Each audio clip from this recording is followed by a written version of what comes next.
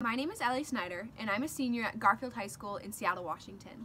For the past six months, I've been volunteering as a junior health scholar and a patient experience ambassador at Swedish Medical Center through COPE.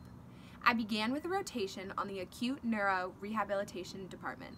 I've been able to develop strong relationships with patients, gain valuable knowledge from nurses, and gain critical patient experience alongside doctors.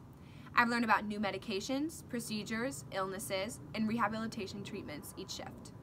In 10 years, I will have a bachelor's degree in neuroscience from Whitman College, where I've applied and been accepted.